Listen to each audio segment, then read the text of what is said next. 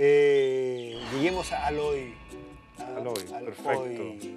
al terrible hoy, a la actualidad, Sami.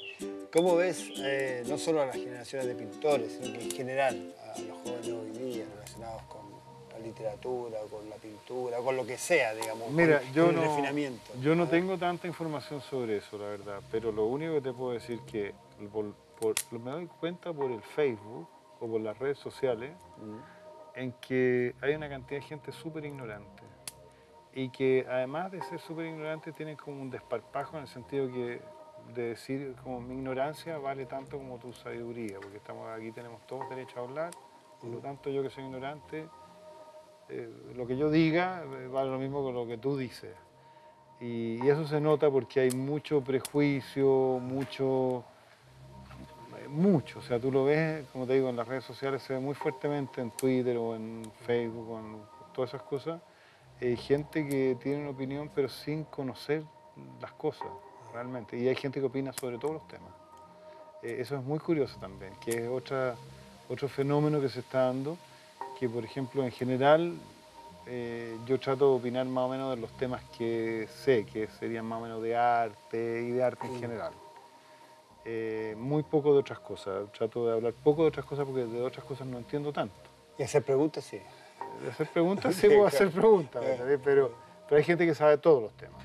Entonces, tú te das cuenta, o sea, esa es la única imagen que yo tengo de la realidad social del momento, es a través de las redes sociales. No tengo, no tengo otra porque yo no hago clase, eh, no tengo demasiado contacto más que con mis amigos, y, pero sí estoy muy conectado. Entonces sé lo que pasa, más o menos me doy cuenta eh, de eso, ¿no? ese fenómeno. ¿Ese fenómeno estará vinculado con el efecto Trump? puede, puede ser el efecto Trump, pero también puede ser eh, como una como una como unos derechos mal entendidos, como que ahora todo el mundo tiene derecho a cualquier cosa y, y pocos deberes, una cosa así como, o sea, se entiende, por ejemplo, por ejemplo, el tema último que apareció, que es el tema de la migración, mm. había una verdadera explosión de gente realmente racista y xenófoba y, hablan con mucho desparpajo, digamos, y, cosas que a cualquier persona decente le daría vergüenza decir, ellos lo dicen con toda tranquilidad, digamos.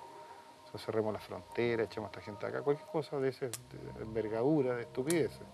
Entonces, tú de ahí te das cuenta que, claro, que si la gente leyera más, eh, se informara más, o sea, y sobre todo si, mira, la lectura y, el arte también en general tiene que ver con el mundo de la imaginación.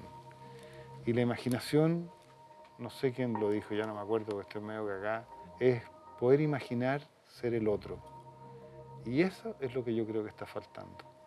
O sea, poder imaginar ser el otro, poder imaginarte por un segundo que tú como decía el poema también de la Huislagua que vimos hace un rato, que era que a lo mejor tú te podrías haber tocado otra biografía, tú podrías ser hijo de otras personas. Y entonces si tú no tienes imaginación, tú no tienes cómo entender eso, cómo, cómo, pero si tú tienes un, poco de imaginación puedes decir, oye, yo podría haber sido haitiano, podría haber nacido en Haití y, en realidad podría haber sido esa y a lo mejor mis padres tuvieron que emigrar acá y entonces imaginar, Imaginar lo que significa el lugar del otro por un rato, por un momento.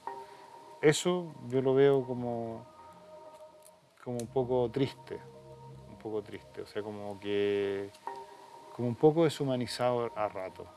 Pero también desconfío a ratos de eso porque los viejos siempre tendemos a ver eh, todo mal, digamos porque como somos viejos y como esto se va a acabar para nosotros, entonces es mejor encontrar lo malo para que no nos dé tanta pena que no se está acabando, digamos, ¿no?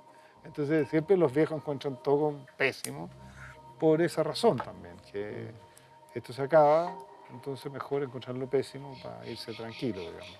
No, no es mi caso, yo siempre encuentro que la vida es extraordinaria y siempre tengo, tengo esperanzas, digamos, de que, que lo decente finalmente se impondrá, digamos soy como Setembrini en ese, en ese sentido, digamos. No, no, pierdo nunca la esperanza, nunca. Pero, pero sí a veces te da un poco de pena. O sea, lo que tú escuchás, o sea, ese tipo de cosas que tú las ves en las redes.